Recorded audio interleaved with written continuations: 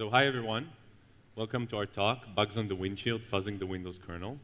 We know it's been a very long day with many interesting talks, and we hope you enjoy, uh, we, we thank you for sticking around, and we hope you enjoy watching this presentation as much as we had making it. So uh, just a little bit about us. My name is Yoav Alon. I'm the CTO at Orca Security. I've been a security researcher for 10 years. It's a bit redundant. And recently, I've been added to MSRC most, secure, most valuable security research list for 2019. My name is Nathaniel Ben Simon. I'm a security researcher at Checkpoint Research, and I'm also in the same list as you have. We had a pretty successful fuzzing campaign, fuzzing binary format parsers in user space. We found multiple vulnerabilities in uh, formats such as JPEG, PDF, uh, WMF, and so on, and uh, targeting mostly Adobe Reader and Microsoft Edge. If you want to check out, more, if you want to read more about this research, you should check out Checkpoint Research blog for more details. Uh, but at this point, we were wrapping out the previous research, and we felt that we wanted a bigger challenge. And fuzzing Windows kernel seemed hard enough. And as a, as a net bonus, we can use the user space vulnerabilities, chain them together with our newly found kernel vulnerabilities, and get a full chain, which is pretty cool. So uh, since this is a fuzzing presentation, I'm going to do a really quick recap of what is fuzzing. Uh, fuzzing is a method for automatic software testing. It's the most cost-effective way we know for finding real bugs in real software. Uh, the inputs for the process are the target CPU, what you want to fuzz, and CPU time. And the outputs are hopefully bugs. uh, an example of a very basic fuzzer is wrandom. It just pipes random bytes into the std in, F to std in, and uh, this was a killer fuzzer back in the 90s. Uh, fuzzing is also a very active area of research, and as you can see from the graph, the number of publications per year grows very rapidly. Uh, but uh, this, in this talk, we're interested in modern fuzzers. So uh, modern fuzzers consist of three things, three major things. One is a test case generator and mutator, which is responsible for automatically generating inputs a bug oracle, which is something that detects buggy conditions. That usually means segfault, but it can be any other thing, like asserts, memory leaks, and so on. And finally, we need some sort of a feedback mechanism, which in modern fuzzers is usually coverage, but it can be any other metric that you can target, like CPU cycles, um, memory, and so on. Uh, examples of modern fuzzers are AFL, libfuzzer, HONGFuzz, HONGFuzz, and a few others. And if we look back at the example of our uh, previous uh, fuzzer, we can see that dev-urandom has a test case generator, random. Uh, it's not a very good one, but it exists. It has a bug oracle. Uh, it can detect segmentation faults, but uh, it doesn't have any feedback mechanism, so definitely not a modern fuzzer. So let's see the process of, co of coverage-guided fuzzing and how it works internally. So we start with an initial corpus, which is a fancy word for a bunch of inputs, usually files. We take, this, uh, we take the inputs and import them into the fuzzer queue. We, take the, uh, we either generate new input or select one from the queue and mutate it randomly. And then we feed it to our coverage instrumented program. Then, if the, if, if the program crashed, that's great. We have a bug, uh, we can triage it and save it. Triaging means look for, looking for duplicates. Otherwise, we will check if new coverage was detected. When we say new coverage, we usually mean new if statements were arrived. If it, if it was so, we'll try to minimize it and save it. Otherwise, we'll discard it and keep on going. This is basically how every coverage-guided fuzzers work, uh, AFL, LibFuzz, HONGFuzz, and all, and all others. So back to our research, we, were, uh, we said to ourselves, well, we have an experience with AFL. Can we use AFL to attack OS kernels? And the answer is yes. There's KAFL, which is AFL with a K, and K stands for kernel.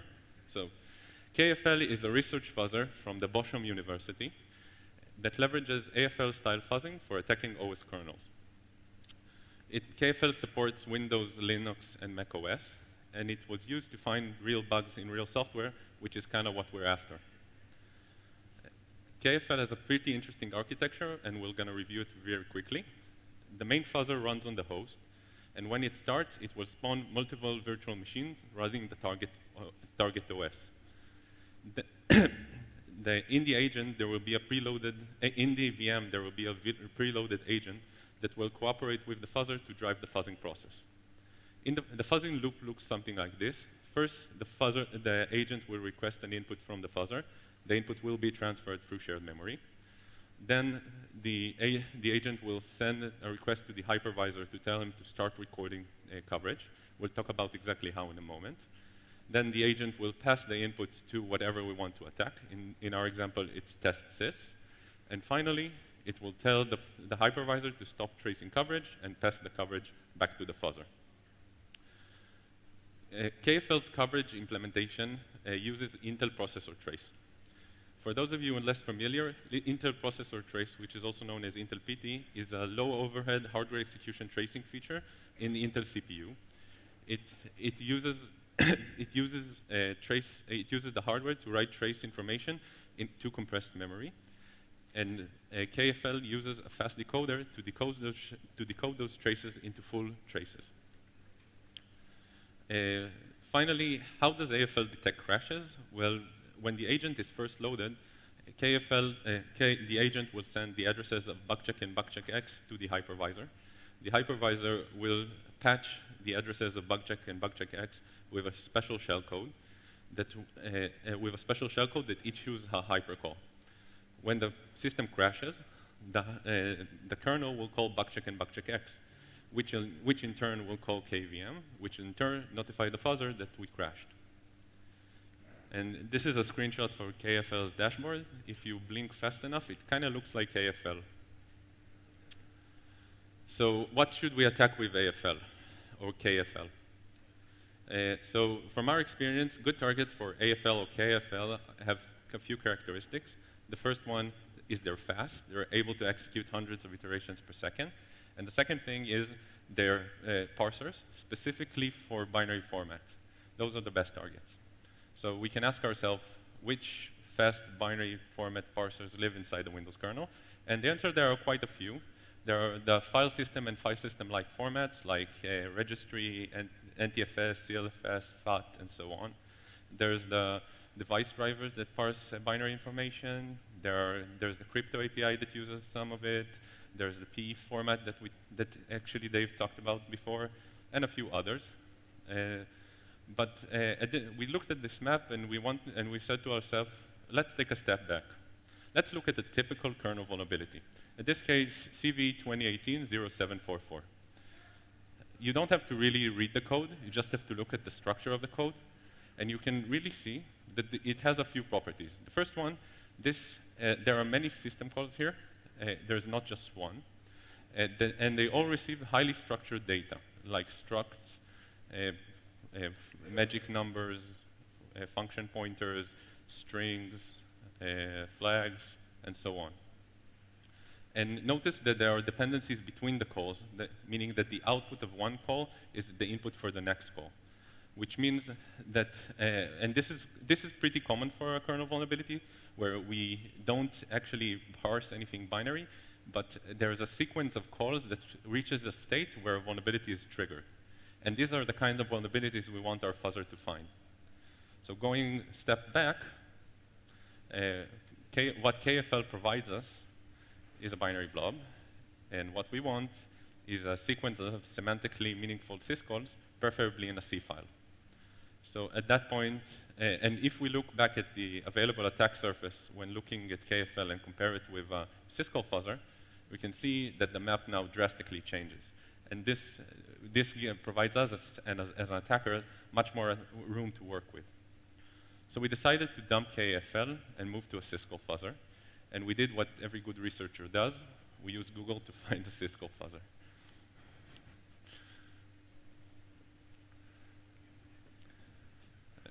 And so we found syscaller, and I'll call Net Netanel to the stage to tell you all about it. Thank you.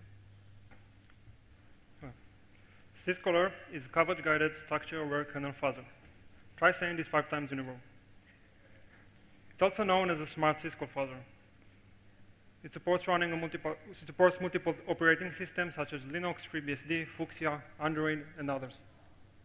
It supports running on multiple uh, machine types such as, such as QEMU guest, Google Cloud Engine instances, mobile phones, and, uh, and so on. It also supports mul multiple architectures like x86-64, 64-bit ARMs, and others. Syscaller is also known in circles as the hardest working researcher in the Linux kernel community. To date, it has found around 3,700 bugs in the Linux kernel. One example is CV 2019-2215, a use of the frame binder which was found being exploited in the wild. As you can see in the screenshot below from Sysbot, Syscaller's online dashboard, it was found two years prior by Syscaller. If you recall from a few slides ago, these are the three foundations of modern fuzzers. Let's see how Syscaller answered these criteria, starting with test case generator mutator. Syscaller generates programs, which are a sequence of syscalls. Let's look at an example of a program generated by Syscaller. This program opens a file called file0 and assigns its result to R0. This weird pointer assignment syntax are instructions to, are instructions to write the file the string file 0 to memory and pass its pointer to the open syscall. This syntax is not only used for strings, but also for describing memory layouts of structs, buffers, unions, and so on. Next, the program reads 57 bytes from the file to memory. And finally, it closes the file. But how does syscaller generate programs? Well, it uses syscall descriptions. Syscall descriptions are, are how you as a researcher define to syscaller how to call syscalls. It's basically the recipes used by syscaller to bake programs. Let's look at a simple syscall description. For example, the syscall exit, exit, which has only one parameter, the error code, which is, which is an int. Notice that, sys, that syscaller has a Go-like syntax, where the, where, where the argument type comes after the argument name. A more complicated example is the open syscall, the closed syscall, sorry. This syscall receives a file descriptor, which is technically an int. However, we know that file descriptors are a resource, are a kernel resource, meaning that random number would just be rejected the. Sorry. A more, yeah, sorry. So uh, the syscall, uh, this, this syscall receives a file descriptor, as I said earlier, meaning that random numbers will just be rejected by the kernel. That's why syscaller has the concept of a resource which is a type that it cannot generate by itself, but it has to use other syscalls to obtain it. An example of syscall that generates a file descriptor is the open syscall. Syscaller also supports flags, structs, unions, and more. In the case of open, you know, it knows that open mode is a flag, which means it can use one or more flags together. Last example is the read syscall. The syscall receives a buffer as an input, which it will write up to length bytes to it. Notice that, that buffer and length have a semantic relationship, meaning that if the length is bigger than the buffer, the syscall will probably fail. Syscall descriptions are written to text file. syssgen, which is another syscaller tool, will take all the, all, all the syscall descriptions and automatically generate a Go code that will be compiled into sysfuzzer. Sysfuzzer will, will then start generating programs by randomly selecting syscalls and making sure to satisfy all their dependencies. Syscalls are also able to mutate existing programs. Let's look at a few mutation strategies. Insert call, well, inserts a call, making sure to satisfy all the dependencies to call successfully the syscall. Mutate arg will mutate an argument according to its type. Splice will take two random programs and join them.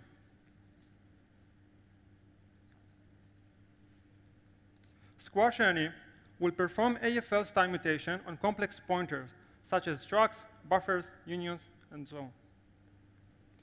So clearly, syscaller has a sophisticated test case, test case generator mutator. Moving on to feedback mechanism. Now that we know how syscaller generates programs, Let's look at the bigger picture. The main binary for syscaller is sysmanager. When it starts, it will do the following. It will load the corpus of programs, and then it will start the target machines. It will copy the fuzzer and executor binaries to the machine using an SSH. Then it will execute the fuzzer. At this point, sysfuzzer will establish connection with sysmanager. and start communicating by RPC. Then sysfuzzer will fetch the corpus from the manager and start generating programs. For each program, it will send it back to the manager in case of a crash. Then it will start the executor. Then it will send it to the executor, which will execute the sys calls and collect coverage from the kernel. Linux kernel coverage is done using kcov, which is a compile time tracing feature. Finally, sys executor will report back the coverage to sysfuzzer, which will notify the manager in case of a new coverage. Feedback mechanism, check. Finally, bug oracle. In case of a crash, Linux kernel will panic and, and print crash information to the output console. Sysmanager will then detect the output message and will report on a crash. Syscaller is usually used with KSAN, KMSAN, KTSAN, and other other sanitizers, which, greatly, which greatly improve the syscaller ability to detect crashes. Bug Oracle, check. Syscaller aims to be unsupervised, meaning it will try to automate the entire fuzzing process. In an ideal world, fuzzers are just plug and play. But like Charlie Miller used to say, working with fuzzers is like babysitting an army of monkeys. In the case of crashes, sysmanager will spawn multiple reproducer machines. In the process of reproduction, sorry, in the process of reproduction, syscaller will dissect the crashing programs from its log and will try to minimize them. When the process is finished, it will either reproduce a sys, program like we've seen earlier, or a C code, which will reproduce the crash. So to recap, syscaller is awesome. But syscaller is for Linux. Well, actually, before this presentation, we talked to Dmitry Vyukov, which is the founder of syscaller, and he corrected us. Syscaller is not only for Linux, but support other operating systems as well. So when we say syscaller is for Linux, we actually mean syscaller is also for Linux. So let's run Linux on Windows. What is WSL? WSL is a compatibility layer for running Linux binaries natively on Windows. It translates between Linux syscall to Windows API. It allows to interrupt Linux Windows and, and Linux uh, and Windows binaries. For example, you can run the task list from bash and count the number of lines. It requires less resources when running a full virtual machine. And finally, it was designed to run bash and call Linux commands for developers. Let's see how does it work. Starting from Windows 10, there is new type of a process, a lightweight process called Pico process. When the Pico process issues a syscall, it will pass the end, it will pass the anti-kernel to a dedicated driver called Pico provider. In the case of WSL, the Pico processes are Linux binaries, and the and the Pico provider, LXS and LXCore, will translate the Linux syscalls to Windows, Windows system calls. At this point, we decided to fuzz WSL because fuzzing WSL is very similar to fuzzing Linux kernel. We can, use, we can reuse most of the existing grammar and the executor. It is relatively new, has two, driver, has two drivers which are around one megabyte of code with little CVEs. And finally, we wanted to find bugs for full chain, but we also wanted to get some experience with syscaller on Windows. So it looked like a good step, first step for us, good first step for us. Looking at syscaller architecture, we need to change a few things to FastWSL. We need an SSH server, which is easy. We have a Linux distro for that. We need to find a way to collect coverage. And finally, we need a mechanism to detect crashes and deduplicate them. So how to get tracing coverage? Windows is closed source compiled binary, meaning we can't use a compile time tracing feature like kcov. So we thought a few alternatives. The first one was using an emulator like Box or QEMU and adding coverage instrumentation. The second option was using static binary instrumentation for coverage like in PAFL. Another option was using a hypervisor with sampling coverage, like in Apple Pie. But at the end, we settled on, uh, on using Intel PT for coverage. like in KFL. What we did was to add patches to KVM to support coverage with Intel PT. We used large parts of KFL KVM patches for that. In addition, we exposed the Kcode-like interface through hypercalls. So now, when the executor tries to start, store, or collect coverage, it will communicate with the KVM instead of the kernel. We also added support for exporting coverage in DynamoRio format, also known as DRCOV format. We used IDA and the, and the awesome Lighthouse plugin to visualize the coverage. Here's an example of how, Lighthouse, of, how Lighthouse visualized the coverage by adding colors to executed basic blocks. As for bug Oracle, we use the same technique as in KFL. In case you already forgot, for, forgotten, we patch backcheck and bugcheckx with the shellcode that issues a hypercall on a crash.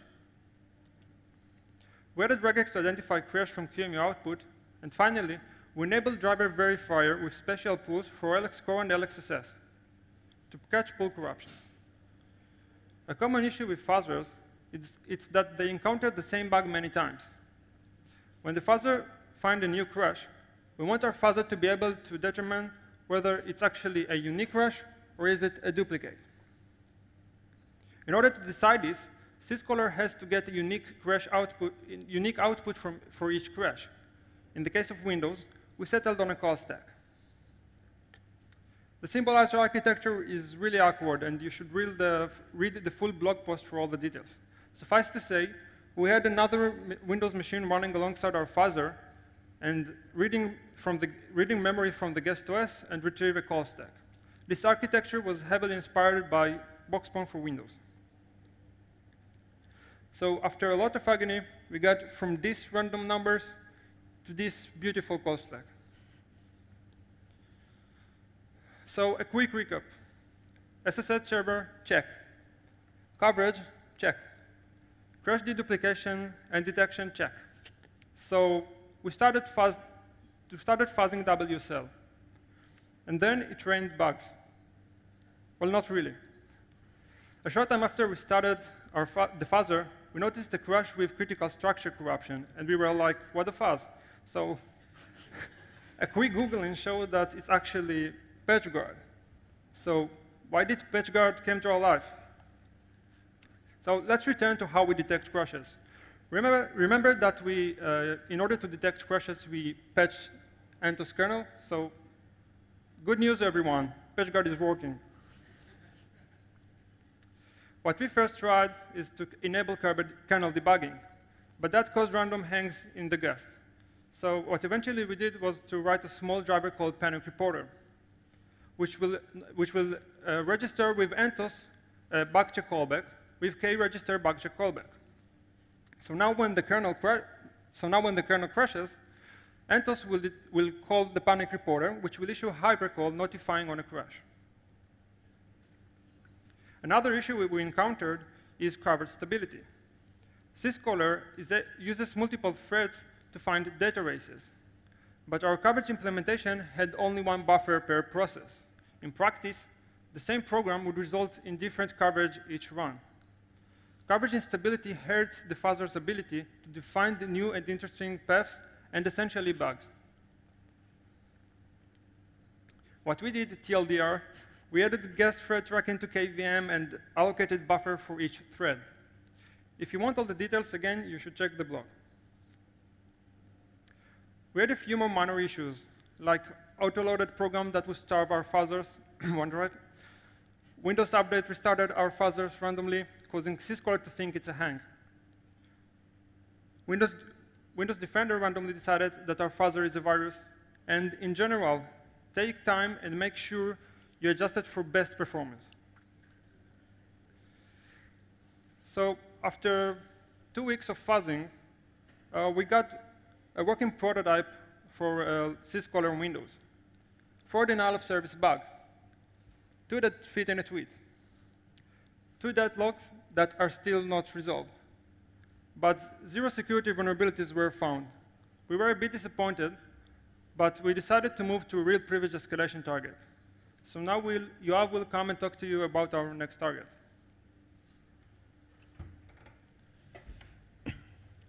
So we, we looked back at the attack surface of the Windows kernel, and we decided to set our sights on Win32K.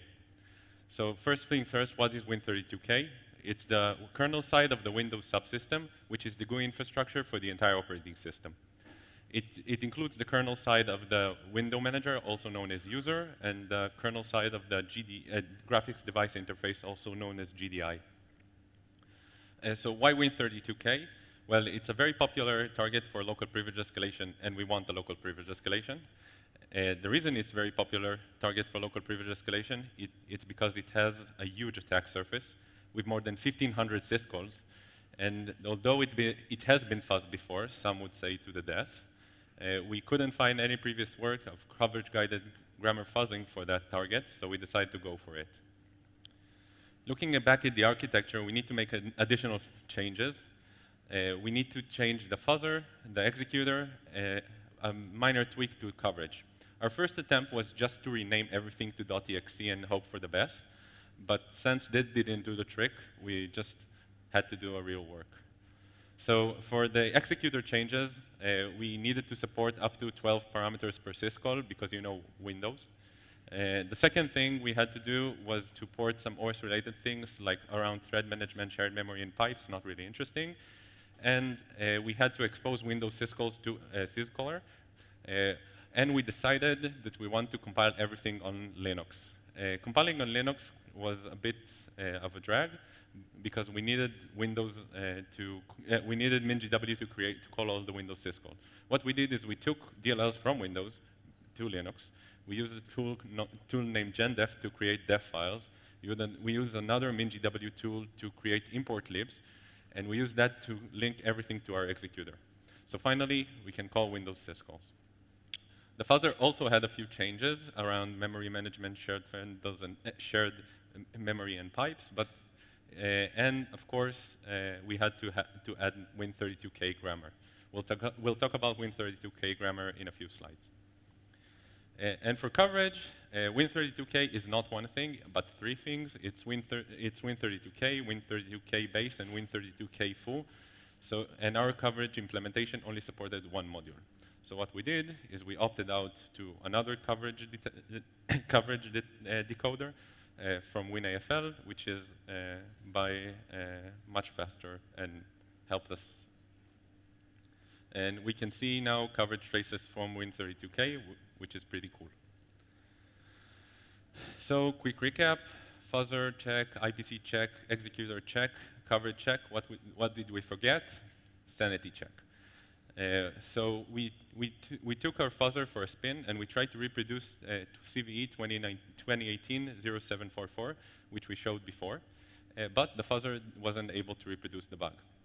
Uh, we were a bit surprised, so we, we investigated it a bit, and we discovered that our uh, fuzzer was running under session 0, not under normal session user 1.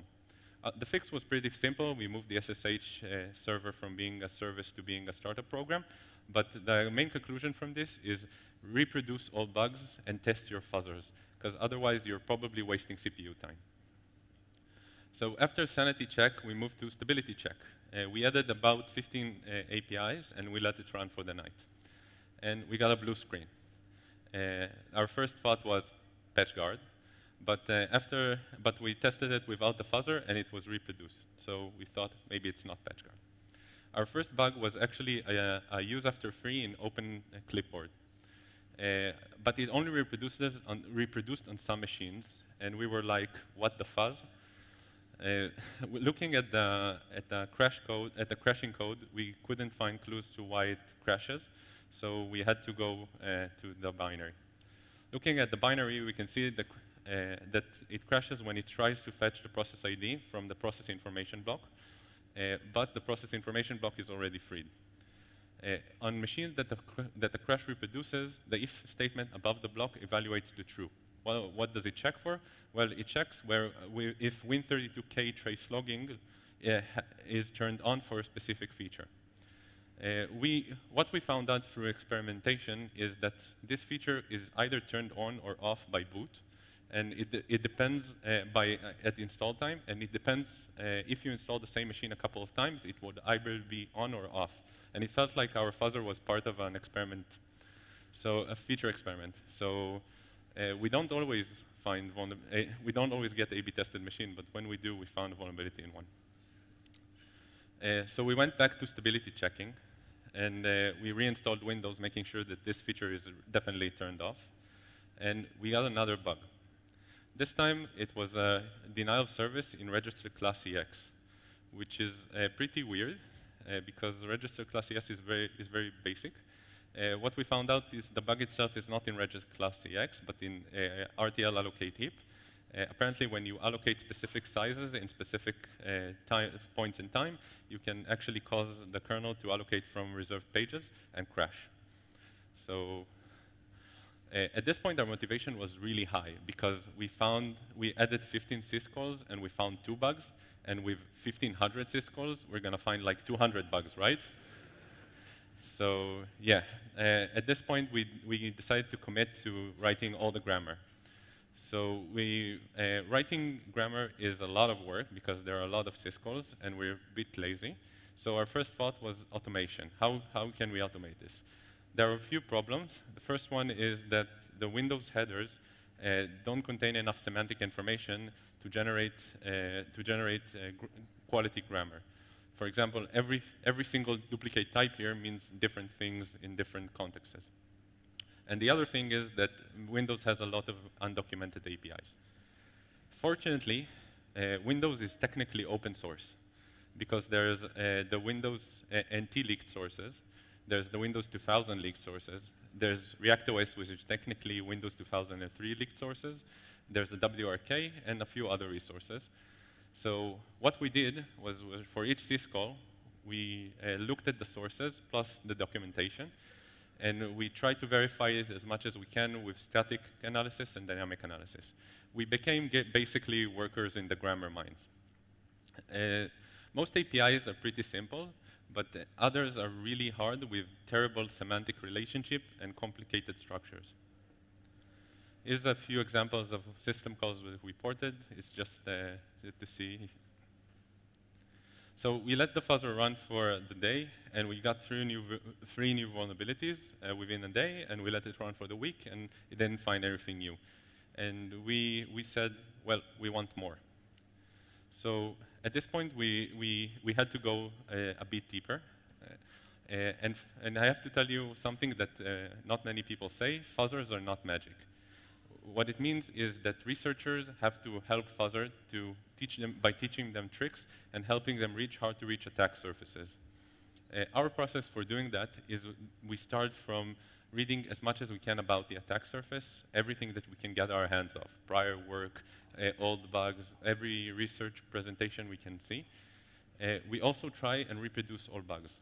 All bugs teach us a lot about uh, our, the, the attack surface and about the fuzzer's ability to, abilities and limitations. And finally, we take time to look at coverage maps. Coverage maps tell you, gives you a pretty clear map where your fuzzer is not targeting. And we take all of these insights and we try to inject them back into the fuzzing process. Let's see an example which is not so uh, empirical. Uh, one thing that we learned through, our, uh, for, through the research is there is a, such a thing called GDI shared handle table, which is an array of structured pointer by, uh, pointed by the PEB, which contains all handles for GDI objects. Uh, if you notice, there's the process ID, which, is, uh, which indicates which process owns this uh, specific handle. global handles are ones that the process ID is, is zero. So we thought to ourselves, maybe we can teach our fuzzer to use those kinds of handles in the fuzzing process, and maybe it would find bugs.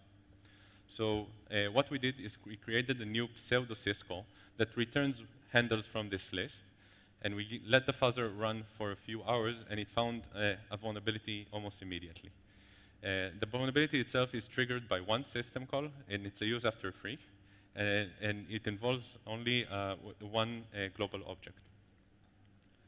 So our results for, the, for this uh, part of the, uh, of the research were we we fuzzed for about a month and a half of CPU time in our spare time. Uh, we found eight vulnerabilities. We got assigned six CVE. One was deemed duplicate, and one is still pending. Uh, we found three denial of service bugs. one uh, crash in WinLogon, which we are having a really hard time to reproduce, and a few deadlocks. But uh, local privilege escalation is nice. Can we make it an RCE? So enter EMF, uh, WMF. It's a, it's a window, it's an image format from Win, uh, that designed by Microsoft back in the 90s. It supports both vector graphics and bitmap. And if I have to summarize the entire format in one word, in one sentence, it's what would happen if we took syscalls and wrapped them up in an image format. Okay? Uh, the, Microsoft extended the format a few times. Uh, in, we have EMF, EMF Plus, and EMF Spool. And if you want to read all about the, this attack surface and the format, you should check out Juru's blog for more details. So uh, we, we looked at the specs, and, we and under the bitmap record types, we saw there's a stretch BLT record type. And for those of you who are familiar with GDI, there's a stretch BLT call there. And we happen to have a vulnerability in stretch BLT. So, so let's see a demo.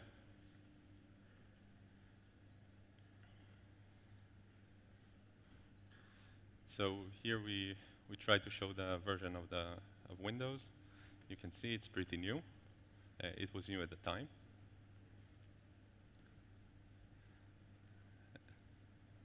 And we're opening the EMF image. You can. Uh, we're using infront view because making it work in Word was painful. And that's it.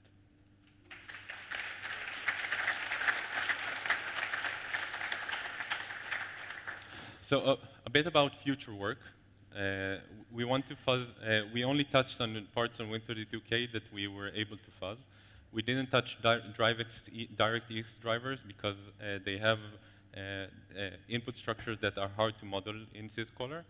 And we also haven't touched on Win32k callback functions. For those of you familiar, that's, that's where a lot of bugs are. Uh, we have a huge corpus of programs for Win32k, uh, about 450,000. So we thought that to take all of them and run them through other bug oracles, such as Boxmon, to see if they find new and interesting bugs. And finally, we want to open source our ports, and finally fuzz the rest of the kernel. But that's future work.